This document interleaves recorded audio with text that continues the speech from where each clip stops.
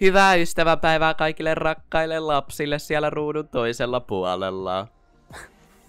Okei, mitä vittua? Hyvää huomenta, se on meksikolainen huumedealeri täällä, vitun Pablo. Ja tervetuloa uuden videon pariin. Mä toivon, että teidän päivä on lähtenyt käyntiin todella hyvin. Eli tänään mulla on teille aika hauskaa tarina kerrottavana, joka on periaatteessa siitä, kun mä löytiin kepillä päähän. Ja se oli oikein mulle, koska mä tein jotain tosi vitun tyhmää. Ja mä suosittelen, että kukaan teistä ei ikin tee tälleen, koska tää on tosi mulkkua. Älkää please tehkö tälleen. Mutta mä toivon, että tykkäätte tästä videosta. Jos tää video on hyvä, pistäkää peukut pystyyn, koska jokainen, joka tykkää tästä videosta, pääsee velhokouluun, okei? Okay? Mä lupaan teille, ja siihen päälle te saatte taika dildon, okei, okay, te saatte taikossil, mutta se on dildo, okei. Okay. Ja tota, joo, mun puolesta me voidaan aloittaa. Eli tää tapahtuu about vuosi sitten, ja mä olin mun friendin kanssa, joka nimi on tässä videossa vaikka Lauri, ja oli kaunis päivä, tosi hyvä päivä, linnut laulo, me oltiin ulkona, mutta yhtäkkiä tapahtui tää paha juttu, okei? Okay? Tää pelottava ja tosi paha juttu. Meidän röökit loppuu. Eli mä poltin about vuosi sitten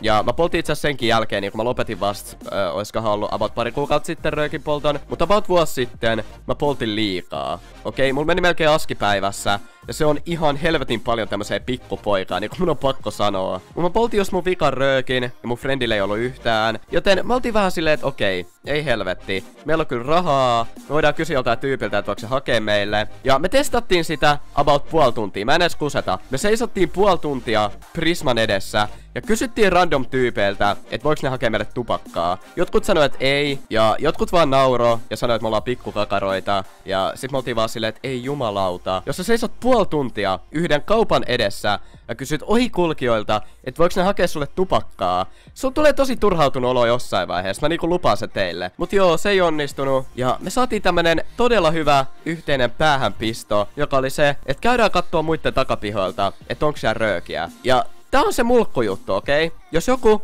jättää sen takapihalle röökiä, älä vittu missään nimessä mene sen takapihalle ottamaan niitä. Sulle voi käydä vittu samalla tavalla kuin mulle kävi, okei? Okay? Eli me käytiin katsoa aika monta takapihaa, mutta sieltä ei löytynyt mitään. Se on tosi outoa, että mitä mä oon tehnyt sen takia, että mä saan tupakkaa. Niinku kelatkaa mä olisin koukos jokin piriin. Mä varmaan pöllisin jotain muovihaarukoita tai en mä tiedä jotain vitun nurmikkoa jostain pihalta niinku. En mä saisi edes vähän rahaa, että mä pystyisin ostaa piriin, mut joo mä poikkean tähän aiheesta. Eli me löydettiin tää yksi takapiha ja siinä takapihalla näkyy bonuksen vihreä röökiaski. Ja me oltiin vaan silleen, että okei, tuolla saattaa olla röökiä. Mutta ainut pieni paska juttu oli se, että siinä istui yksi mies. Eli toisin sanoen, jos me kävellään sen takapihalle ja se mies on siinä, se ei varmaan tykkää sit kovin paljon, että kaksi alaikäistä pikkukakaraa tulee pöllissä se tupakat. Eli me koitettiin suunnitella jotenkin, että miten me päästään ottaa sen röökit silleen, että se ei huomaa. Ja tyhmäkin tajuu varmaan, että se on mahdotonta, koska se mies istui sen pöydän edessä missä aski oli. Me menattiin jo melkein luovuttaa, koska periaatteessa on aika mahdotonta. Mennään kun takapihalle pöllii yhtä röökiaskia, kun se jätkä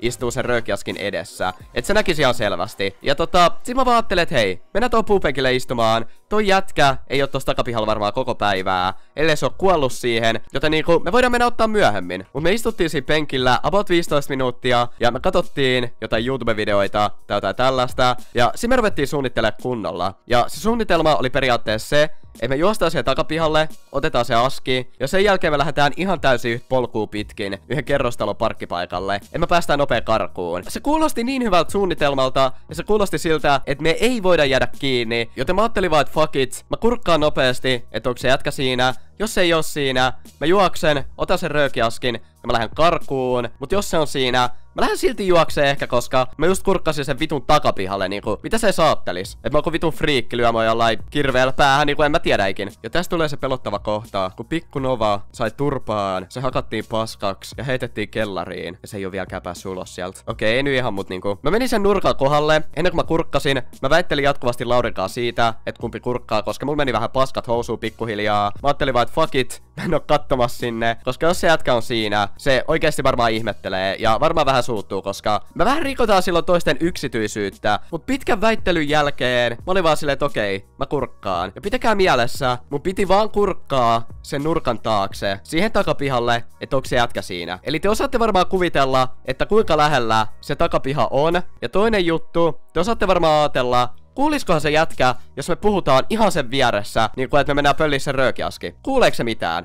niin kuin totta helvetissä kuulee. Eli tästä voi jo pikkusen arvata, että miten mulle kävi, kun mä päätin pikkusen kurkata sinne takapihalle. Okei, mun on pakko kertoa tää tällä ylidramaattisesti, okei? Okay? Eli mä kävelin eteenpäin hidastettuna, tuli surullista musiikkia ja samaan aikaan pelottavaa musiikkia, koska miksei. Mä kurkkaan sen nurkan taakse ja yhtäkkiä mä sain suoraan vitun kepistä otsaan. Saman tien tuli suoraan kepistä otsaan, niinku ihan saman tien. Se jätkä oikein odotti, että mä kurkkaan sinne. Ja siinä vaiheessa Lauri, se vaan lähti juokseen. Mä kaaduin siihen, ja mun näkö sumeni, mä en tiedä onko se normaalia, että mua lyödään kepillä otsaan ja mun näkö sumenee, mä en tiedä onko se normaalia. Mut sit se jätkä tökkäs mua päähän sillä, ihan kun mä olisin ollut joku vitu kuollut ruumis, että se olisi testannut, että onko mä elossa. Mä nousin siitä ihan paniikissa ja lähdin vaan juokseen. Ja tälle jätkälle ei riittänyt se, että se koitti vitu tuhota mut. Se koitti heittää mua vielä sen kepillä, kun mä lähdin juokseen. Se oli niinku tosi kivaa, mutta se ei osunut muhun. Mä lähdin juokseen ihan täysin karkuun, sille parkkipaikalle. Ja mulle tuli pieni kuhmu otsaan. Ei mikään kovin iso, se oli vaan sen kokonen, että mä näytin siltä, että mulla on kyrpä mun otsassa. Okei, okay. ei nyt ihan niin iso kuhmu. Mut siihen tuli kuhmu, ja Lauri vaan oli koko ajan silleen, että ei jumalauta, toi jätkä on hullu, että se kertoo sun mutsille tästä, että sä, soittaa poliisit. Ja mä olin vaan silleen, että joo, totta kai. Mä soitan mun mutsille heti ja sanon silleen, että tota, tää mies löi mua kepillä päähän, koska mä koitin varastaa sen tupakat. Terveisi 15-vuotias Niko. Voit sä please soittaa poliisit? Täällä jätkällä ei ole oikeus lyödä mua kepillä päähän, vai mitä äiti? Mun mutsi olisi varmaan saanut pienen kohtauksen ja lähettänyt mut keskitysleirille. Mut joo, tota, tämmöisen mä ajattelin teille kertoa ja mä toivon, että tykkäsitte. Mulla on tämän jälkeen vielä yksi tarina, mikä liittyy siihen, että mä varastan jotain. Ja musta vähän tuntuu siltä, että mä säästän sitä, koska en mä tiedä, sit se on vika tarina, mikä liittyy varastamiseen ja rip. Mutta tota, kiitos kaikille siitä palautteesta, mitä mä oon saanut mun videoihin. Te ootte oikeasti mahtavia. Ja tota, joo, me nähdään mun seuraavassa videossa. Moi!